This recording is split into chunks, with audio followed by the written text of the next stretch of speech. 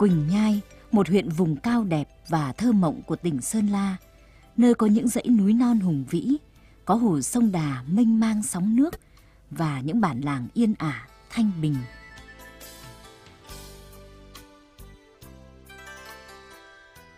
Cộng đồng dân cư ở đây chủ yếu là người Thái, sinh sống bằng nghề chính là trồng lúa nước, khai thác lâm sản và đánh bắt cá. Bởi vậy, từ bao đời nay, bà con rất gắn bó với sông nước và chèo thuyền là công việc thường ngày, trở thành thói quen và nhu cầu không thể thiếu trong sinh hoạt và trong lao động sản xuất.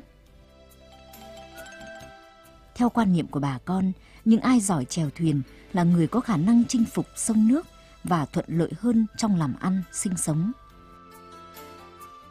Từ đó, trong bản làng đã hình thành những cuộc đua thuyền quy mô nhỏ và dần dần trở thành những lễ hội văn hóa truyền thống của vùng đất này.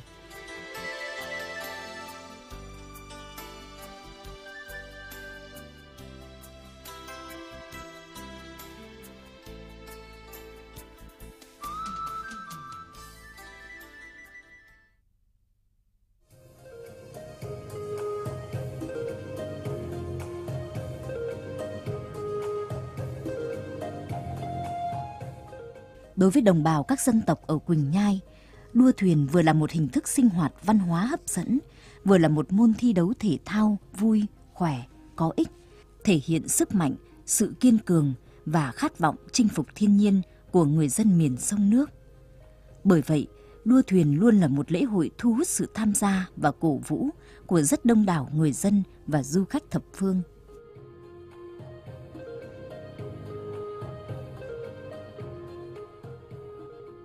Trong bầu không khí rộn rã, tưng bừng của ngày hội, từng đoàn người trong trang phục truyền thống, lộng lẫy sắc màu, từ khắp các thôn bản nô nước kéo nhau về bến Pá Uôn.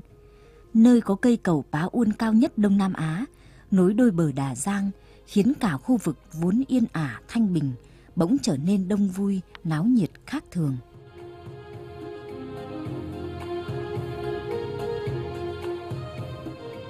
Lễ hội năm nay được tổ chức với quy mô lớn và hoành tráng, với sự tham dự của hơn 500 vận động viên ở 4 môn thi, gồm đua thuyền, ném còn, kéo co và bắn nỏ.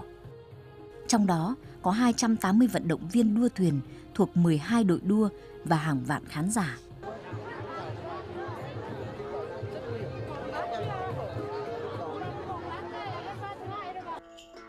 Để tạo không khí hứng khởi, khích lệ tinh thần cho các vận động viên, ban tổ chức đã xây dựng chương trình biểu diễn nghệ thuật mang đậm bản sắc văn hóa cổ truyền của dân tộc với ý nghĩa ca ngợi đất trời, sông núi, ca ngợi những người dân cần cù, đôn hậu và mến khách của vùng Tây Bắc Việt Nam.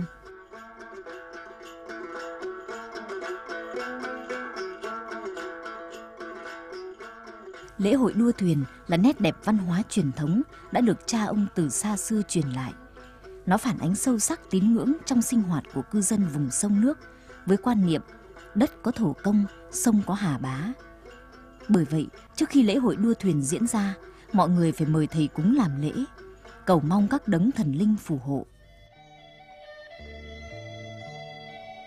Việc lựa chọn ông thầy cúng là một vấn đề hết sức quan trọng. Ông thầy cúng phải là người có uy tín, biết các phép thuật và đặc biệt có khả năng giao tiếp với các thần linh để mời về chứng giám và phù hộ cho dân bản được an lành, ấm no và hạnh phúc. Xin mời ông then lớn sao trời, chầu trời ở trên sao hỏa, trăng sao đặt trên sao lớn, chủ nàng quách, nàng quánh, chủ then bun, then trăng, mời bước xuống đất hạ giới thương ván, mời bước xuống mường chiên từ thuở xa xưa. Con cháu bản mường, chuyển chỗ ở quê cũ, về củng cố lại bản mới mường mới. Ở đất mường giàng, xây dựng huyện mới ở Phiêng Lanh, bản mường yên vui giàu có.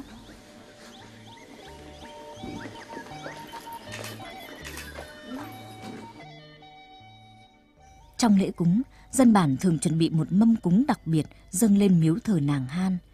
Bởi miếu thờ này có ý nghĩa rất quan trọng với họ. Nó gắn liền với truyền thuyết về một vị tướng mà người dân nơi đây vô cùng yêu mến và cảm phục. Đó là nàng Han. vốn là người miền xuôi lên thượng nguồn sông Đà dẹp giặc ngoại xâm. Sau khi đánh tan giặc giã, đúng vào dịp đầu xuân, nàng cho quân sĩ đóng doanh trại tại vùng đất này để tắm gội, tẩy trần trước khi mở tiệc khao quân và tổ chức lễ hội đua thuyền. Để tưởng nhớ công ơn sâu nặng đó, mỗi khi tổ chức lễ hội đua thuyền, dân bản luôn chuẩn bị mâm cúng thịnh soạn, dâng lên miếu thờ nàng Han để thầy cúng mời nàng Han về chứng kiến và ban lộc cho dân bản. Xin mời nàng Han kiên cường xuống khai bản cho bản phát triển, xuống khai mường cho mường ăn nên làm ra, tắm sông cho sông rộng và sâu, đánh giặc do nàng Han dẫn đầu. Giặc đến nàng đứng gác đầu cầu, hổ đến nàng chặn ngang đầu bản. Nay bản mường mang của ngon vật lạ về dâng, đón quân lính hậu vệ nàng Han, rước nàng lên thuyền rồng về bến. Mời quân binh của nàng dự lễ đua thuyền, mời quan chức bản mường về xem lễ hội.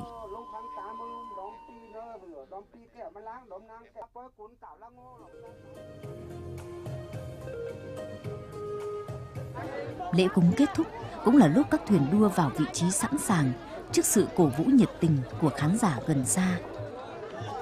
Thuyền đua của dân tộc Thái là thuyền độc mộc hình đuôi én, được làm bằng thân một cây gỗ to, trông thật vững chãi và khỏe khoắn. Mở đầu là đội đua 20 vận động viên nữ với cự ly 1.400 mét. Sau tiếng súng hiệu lệnh vang lên, những chiếc thuyền đuôi én lao vun vút về phía trước trong tiếng trống chiêng thúc giục liên hồi, tiếng reo hò cổ vũ của hàng chục nghìn người làm vang động cả núi rừng Tây Bắc.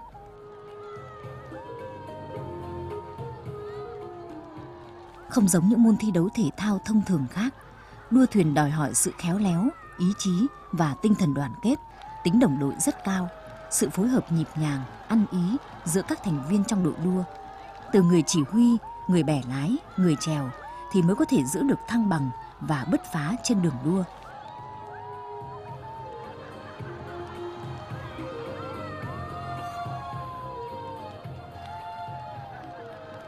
Giống như những người phụ nữ Việt Nam khác, các chị em phụ nữ Quỳnh Nhai vốn rất mảnh mai, yêu kiều. Vì thế, người ta thường gọi là phái yếu. Tuy nhiên, khi đã nhập cuộc đua, sự mềm mại uyển chuyển ấy đã trở thành ý chí, thành sức mạnh bền bỉ, sự kiên cường đến đáng nể phục. Các chị đã thể hiện hết khả năng vốn có của mình để cống hiến cho người xem những màn rượt đuổi đầy gay cấn giữa mênh mông sóng nước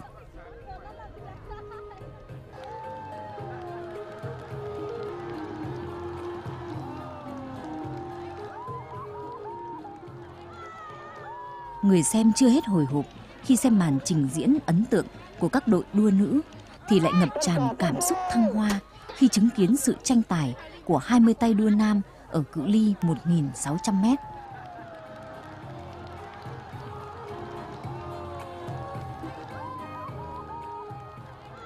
Dường như sức nóng càng lúc càng lan tỏa khắp vùng lòng hồ sông Đà. Sự dũng mãnh và quyết đoán của các pha rượt đuổi nước rút, giành nhau từng mét một đã mang lại cho người xem cảm giác hồi hộp đến nghẹt thở.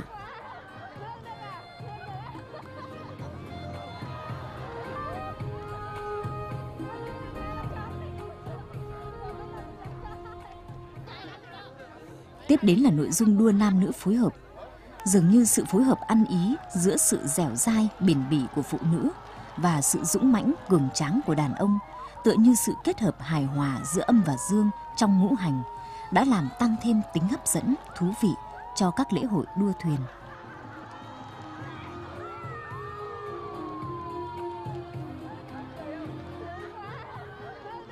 Cứ như thế trong suốt cả ngày, lễ hội đã đưa người xem đến mọi cung bậc cảm xúc.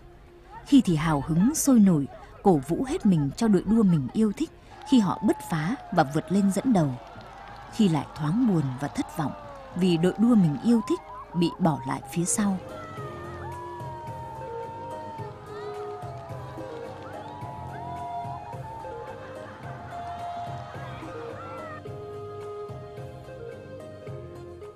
Đua thuyền kết thúc cũng là lúc bà con lại được thỏa thích vui chơi thông qua các hoạt động sinh hoạt văn hóa, các trò chơi dân gian thú vị như ném còn, kéo co, bắn nỏ, đẩy sức lôi cuốn, vân vân.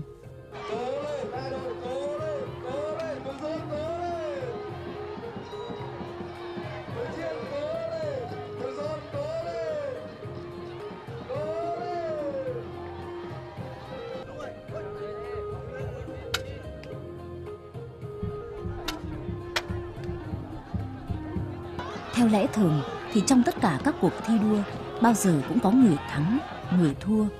Và trong lễ hội đua thuyền Quỳnh Nhai hôm nay cũng vậy. Ban tổ chức đã chọn ra những đội đua xứng đáng nhất để trao giải. Tuy nhiên, đối với người xem thì tất cả các vận động viên đều là những người chiến thắng. Bởi họ đã cùng nhau làm nên một lễ hội hết sức ấn tượng. Họ đã cống hiến cho tất cả khán giả những giây phút thăng hoa tuyệt vời, giúp cho các khán giả giải tỏa mọi mệt mỏi ưu phiền trong cuộc sống, mang lại cho họ một luồng sinh khí mới để khởi đầu một năm mới tràn đầy niềm vui, thành công và hạnh phúc.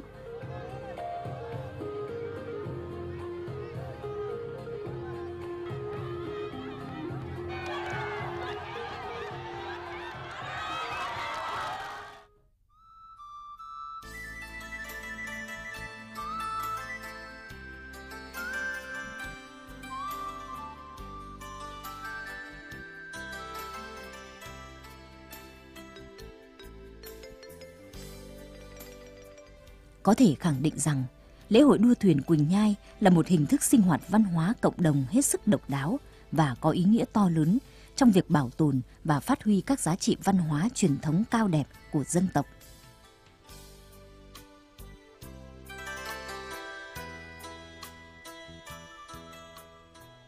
Lễ hội có ý nghĩa rất lớn trong việc giáo dục đạo lý uống nước nhớ nguồn, tinh thần tương thân tương ái, cùng nhau đoàn kết vượt qua mọi khó khăn, thách thức để vươn lên trong cuộc sống.